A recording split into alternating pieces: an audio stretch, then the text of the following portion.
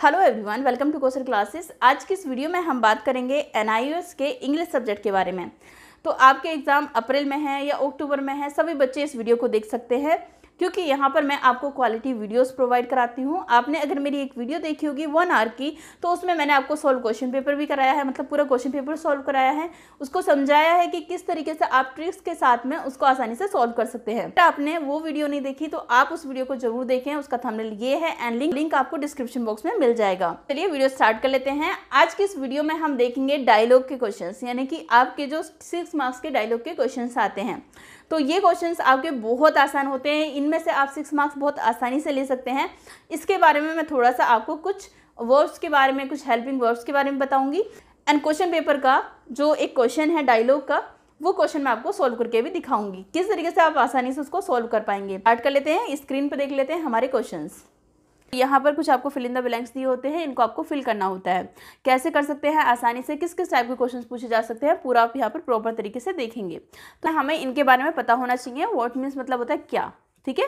जैसे कि हम पूछते हैं व्हाट इज़ योर नेम आपका नाम क्या है, ठीक है? हाउ यानी कि कैसे? How did you solve this question यानी कि आपने इस क्वेश्चन पेपर आपने इस क्वेश्चन को कैसे सॉल्व किया? वेयर मतलब कहाँ? वेयर डू यू लीव आप कहाँ पर रहते हैं? हु मतलब कौन? हु आर यू आप कौन हो? ठीक है? विच यानी कि कौन सा? जैसे कि हम पूछ लेते हैं कि विच इज़ योर पैन यानी कि आपका पैन कौन सा है? ठीक है? फिर उसके बाद में हाउ मैनी यानी कि कितने? ठीक है? हाउ मैनी मीन्स कितने? यानी कि अगर जब हम उनकी उनकी काउंटिंग कर सकते हैं, ठीक है? How many student in the class it means कि बच्चों को गिना जा सकता है कि क्लास में कितने स्टूडेंट हैं, ठीक है? थीके? तो जहाँ पर काउंट किया जा सके तो उनको बोलते हैं हाउ मैनी यानी कि कितने। जैसे कि हाउ मच मतलब कितना? यानी कि जिसको जिसको तोला जा सकता है, ठीक है? जिसको हम काउंट नहीं कर सकते ठीक है, जैसे कि आप राइस हैं, उनको आप तोल सकते हो एक किलो, दो किलो, इस तरीके से, लेकिन आप उसको काउंट नहीं कर सकते, ठीक है? इस तरीके से। वैन मतलब कब? ठीक है, जब हम बताते टाइमिंग हमें बतानी होगी, तब हम वैन का यूज़ करते हैं। अब इससे रिलेटेड ना हमारे कुछ क्वेश्चंस बनते हैं, उनको देख लेते हैं। देखिए, आपको इस तरीके से ना लिखा हुआ आएगा कि complete the following dialogue by filling the fill in the blanks ठीक है? आपको इन डायलॉग्स को कंप्लीट करना है। तो हमें यहाँ पर थोड़ा सा ध्यान से समझना है, ये बहुत आसान है। कैसे करेंगे? राधा डैश, यहाँ पर क्वेश्चन मार्क भी दिया हुआ है, ठीक है? अब इसे करने का सही तरीका क्या है? आपके सामने आंसर गिवन है। यानी कि इस क्वेश्चन को जो भी पूछा गया होगा, उसका आंसर यहाँ पर आपको गिवन है। जैसे कि इसने लिखा, शीला बोल रही है कि माय नेम इज़ शीला यानी कि मेरा नाम शीला है। तो यहाँ पर इसका क्वेश्चन क्या होगा? यानी कि राधा ने इससे क्या पूछा होगा? जो ये बोल रही है कि मेरा नाम शीला है तो सिंपल सी बात है, इसने क्या बोला होगा? कि तुम्हारा नाम क्या है? तो यहाँ पर क्या आएगा? यहाँ पर क्या आएगा? वॉट इज़ योर नेम, ठीक है? यानी कि आपका नाम क्या है? तो ये हमारा क्वेश्चन होगा। व्हाट इज़ योर नेम ठीक है? तो इस तरीके से इसका क्वेश्चन होगा। तो यहाँ से हम आसानी से इसमें वन मार्क्स गेन कर सकते हैं। ये आपसे थ्री क्वेश्चन पूछे जाएँगे। देखा, राधा डैश यानी कि अब राधा फिर दूसरा क्वेश्चन कर रही है शीला से। तो शीला बोलती है कि I live at Tilak Nagar, यानी कि मैं तिलक नगर में रहती हूँ। तो अब इसने क्या क्वेश्चन पूछा होगा? शीला राधा ने शिला से क्या क्वेश्चन पूछा होगा? तो अगर ये इसका रिप्लाई करिए कि मैं तिलक नगर में रहती हूँ तो सिंपल सी बात है, इसने क्या पूछा होगा कि वेयर डू यू लिव ठीक है? तो इसने क्या पूछा होगा कि वेयर डू यू लिव मतलब आप कहाँ रहते हो? ठीक है? तो यहाँ पर इस तरीके से इसका क्वेश्चन बन जाएगा। ये आपको यहाँ पर फिल ब्लैंक्स में इस तरीके से क्वेश्चन पूछने हैं। तो वॉट मीन्स कि क्या, आपका नाम क्या है? वेयर डू यू लिव आप कहाँ रहते हो? ठीक है?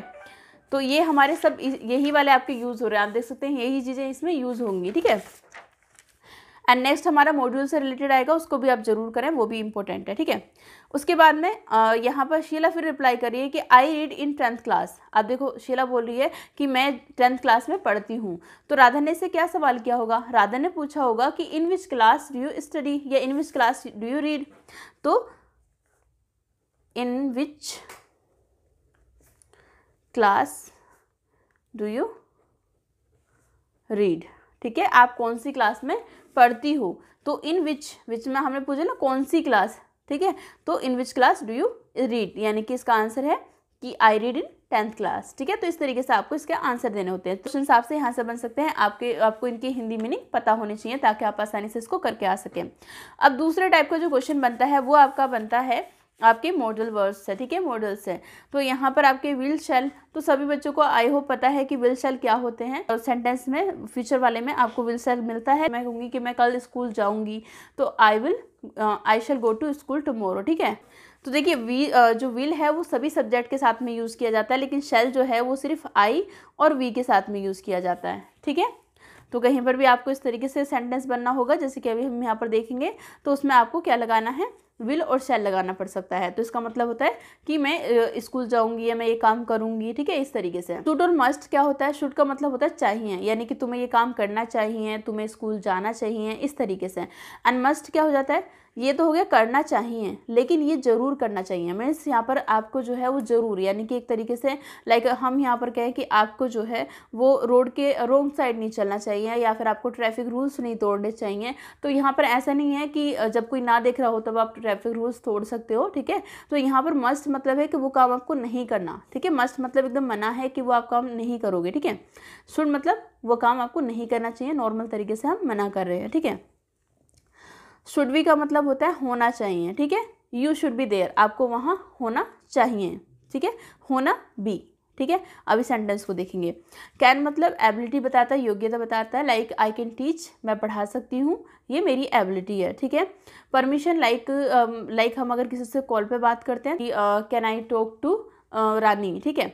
तो क्या हम मैं रानी से बात कर सकती हूँ? इस तरीके से हम कैन का यूज़ कर सकते हैं। और वहीं कुड की अगर बात की जाए तो वो पास्ट में आ जाता है। एबिलिटी बतानी हो पास्ट में ठीक है? कि मैं आ, मैं दौड़ सकती थी ठीक है? तो इस तरीके की एबिलिटीज़ होती है वहाँ पर कुड का यूज़ हो जाता है। परमिशन के लिए भी कुड का यूज़ किया जाता है। जब आपको किसी की परमिशन लेनी हो पॉसिबिलिटी हो, कोई पॉसिबिलिटी होने वाली हो, वहाँ पर भी कुड का यूज़ किया जाता है, कोई संभावना, ठीक है?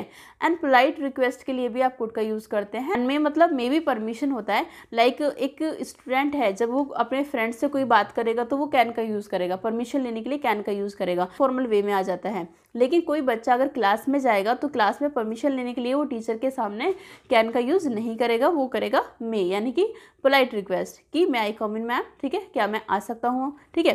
तो इस तरीके से वो यहाँ पर इसके यूज़ किए जाते हैं। अब इससे बनने वाले सेंटेंसेस को देख लेते हैं। तो देखिए, यहाँ पर हमारे पास सेंटेंस है। यहाँ पर दिया होगा इस तरीके से आपको कि complete the following dialogue by filling in the blanks with suitable words and the first one has done has done as an example और पहला वाला आपके करके दिखा रखा, यानी कि पहला वाला आपके लिए करा हुआ है। जैसे कि नितिन बोल रहा है कि I need to go Bareilly मुझे मतलब बरेली जाने की ज़रूरत है, मुझे बरेली जाना है। तो टेल मी मुझे बताओ if I can go by bus तो मुझे बताओ कि क्या मैं बस से जा सकता हूँ। ठीक है?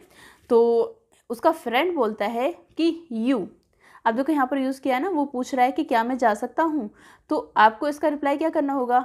यू कैन मतलब हाँ आप जा सकते हो। यू कैन तुम जा सकते हो। बट अब कंडीशन लगी but you should go by train लेकिन तुम्हें ट्रेन से जाना चाहिए। आप बस से जा सकते हो, लेकिन आपको, आप बस से जा सकते हो बट आपको ट्रेन से जाना चाहिए। चाहिए वर्ड के लिए हमने भी पढ़ा था शुड मीन्स चाहिए। तो यहाँ पर उसने पूछा कि क्या मैं जा सकता हूँ कैन और यहाँ पर आप बता रहे हो कि यू कैन यानी कि आप जा सकते हो but you should go by train आपको ट्रेन से जाना चाहिए।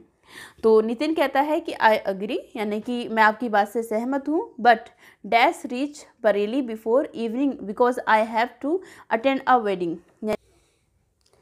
but I must I agree मैं आपकी बात से सहमत हूँ but I must but I must reach Bareilly before evening because I have to attend a wedding यानी कि मैं आपकी बात से सहमत हूँ, लेकिन मुझे जो है, वो बरेली इवनिंग से पहले पहले पहुँचना है, ये कंपलसरी है, क्योंकि मुझे वेडिंग अटेंड करनी है। तो यहाँ पर मस्ट है कि ऐसा नहीं है कि नहीं पहुँचेंगे तो चल जाएगा शुड का यूज़ नहीं, यहाँ पर मस्ट मतलब ज़रूरी है मेरे लिए उस टाइम पर पहुँचना। नेक्स्ट एग्ज़ाम्पल यहाँ पर देख लेते हैं। रुबिन कह रहा है कि ये आपका क्वेश्चन पेपर का है। रेबिन बोल रहा है कि sir I need some coaching in English यानी कि मुझे इंग्लिश के लिए कुछ कोचिंग की ज़रूरत है, कोई कोचिंग की ज़रूरत है can I join your study centre after the school arts यानी कि क्या मैं आपके स्टडी सेंटर को ज्वाइन कर सकता हूँ स्कूल आर्ट्स के बाद में? तो टीचर बोलते हैं यू कैन अब देखो सिंपल सी बात है। टीचर क्या बोलेंगे स्टूडेंट को? हाँ तुम कर सकते हो ज्वाइन ठीक है? तो यू कैन यानी कि आप कर सकते हो ज्वाइन ठीक है? बट लेकिन यू शुड अगेन यहाँ पर क्या आएगा? शुड लेकिन but you should be regular in attendance लेकिन आपको रेगुलर आना होगा, ठीक है? तो रेबिन बोलता है कि आई विल क्या बोलेगा? आई विल यानी कि I will be attending the class regularly यानी कि यस मैं रेगुलर क्लास अटेंड करूँगा, ठीक है? तो इस तरीके से आपको जो है इन फिलिंदा ब्लैंक्स को करना है। थ्री मार्क्स का आपसे पूछा जाएगा देखिए थ्री मार्क्स का आपको आपसे पूछा जाएगा मॉड्यूल्स है और थ्री मार्क्स का आपसे पूछा जाएगा इस तरीके से W H W H family से, ठीक है? तो दोनों तरीके से आप कर लीजिए, आपके टोटल सिक्स मार्क्स कहीं नहीं गए, आप आसानी से सिक्स मार्क्स आप अपने आसानी से गेन कर सकते हैं। तो इससे अलग भी मैंने वीडियो बनाई हुई है, उस वीडियो को आप ज़रूर देख लें, उससे आपकी बहुत हेल्प होगी। एंड इसी तरीके की वीडियोज़ के लिए चैनल को सब्सक्राइब कर लें बेल आइकन को प्रेस कर लें। चलिए, मिलते हैं हमारी नेक्स्ट वीडियो में। Thank you for watching